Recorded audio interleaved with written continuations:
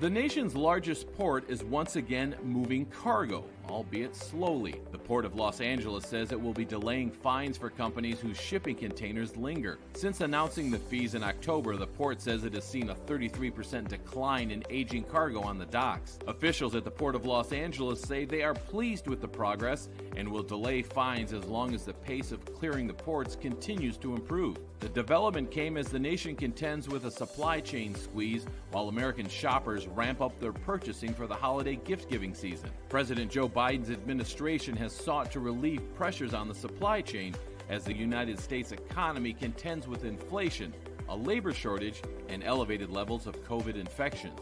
In October, the ports of Los Angeles and Long Beach announced new fees aimed at clearing the logjam of cargo ships.